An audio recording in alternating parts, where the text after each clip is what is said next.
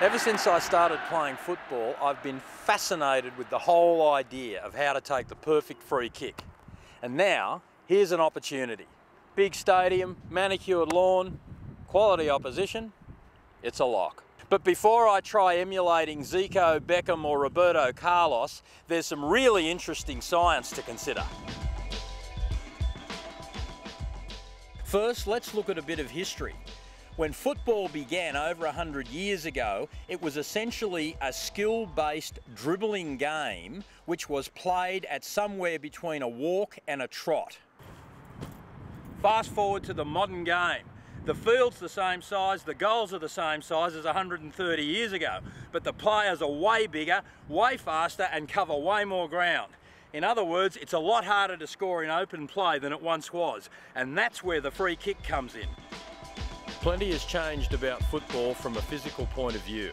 For starters, the height of the average midfielder has grown something like 10 centimetres in the last 100 years.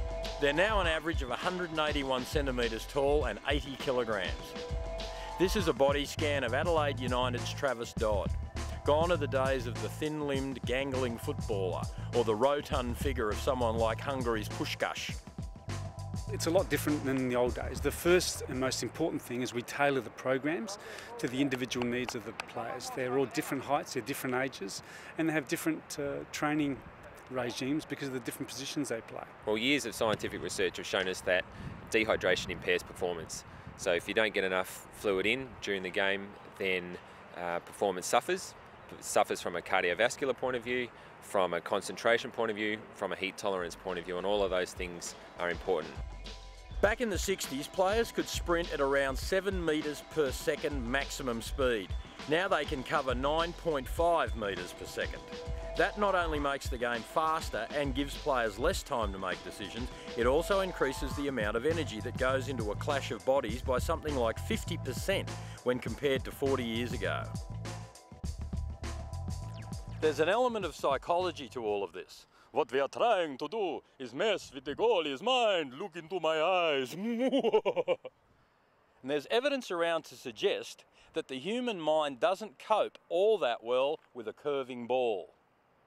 Apparently it all goes back to when we were cavemen throwing rocks. We got pretty good at dodging them in those days because they don't tend to move through the air all that much and we've still got that hang up today. I mean, let's face it, who wants to come for a cross in the middle of a rock fight? This is where we can get into some mind games with the goalie. Some people reckon they're not too bright. I don't want to go there. The main thing is they can be really hard to second guess. You tend to try and keep your eyes focused on the ball at all times um, because they can do a shimmy with their hips or give you a bit of a dummy with their foot. You can see which way their foot goes. So basically, I just try and look at the ball. Science now tells us that our brains sometimes do things that actually happen too fast for us to think about. Confused? Well, don't be. It's called pre-thinking. Okay, when you're looking at something and react, you have two parts. One that goes to the higher centers, you know, your cortex, and one that bypasses all that. It happens in the most primitive centers that we have. We share this with uh, cheetahs, lions, antelopes. We react faster that way than thinking. That's why we think of it as a pre-thinking. We all have it, but the goalkeepers have it better than we do. We can also be a bit more scientific about where we put the ball. For example, Daniel Beltrame of Adelaide United is pretty big. His wingspan is well over two metres, but there are areas of weakness for every goalie. Put it low either side of him and the body struggles to get down to the ball because our hips get in the way when we try to bend sideways. Put it in the top corner and he'll struggle too. It's very hard to reach up and dive at the same time. However, put the ball anywhere in the goals between knee and shoulder height and you'll have the problem. There have been huge advances in the technology of football, particularly the ball itself. For example, this is a modern version of the ball I used to play with. 32 panel, leather, hand stitched. Straight as a gun barrel, virtually impossible to bend. Allow me to demonstrate.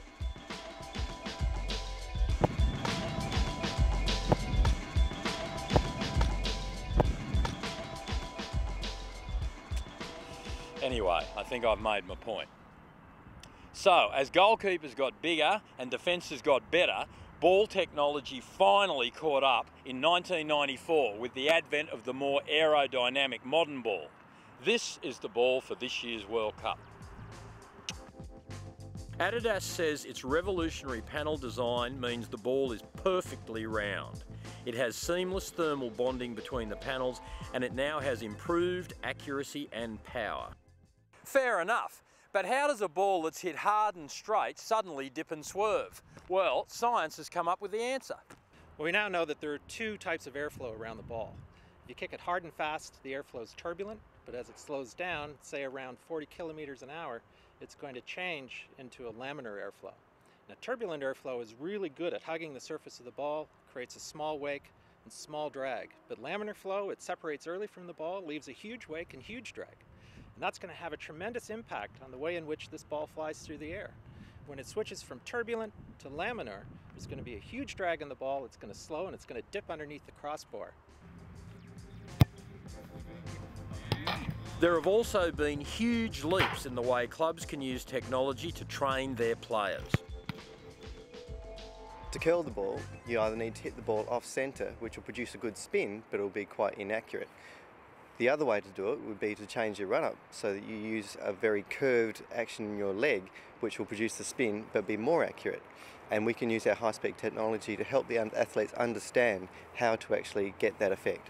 Okay, we've looked at the history, the physiology, the psychology and the technology, but I can't help feeling there's still something missing. Go back to the old days, um, guys could bend balls um, with boots that were like rubber boots and with balls that were like kicking concrete blocks, um, but they still did it. Technology had no part in that whatsoever. That was natural ability. Um, but like I said, I think if you've got talent, that's great, um, but there is no substitute for hard work. Right. I practiced this for years when I was a kid and it never really did much good. Let's see if science can make a difference in my attempt to find the perfect free kick. Just step back, fellas. Give me a little room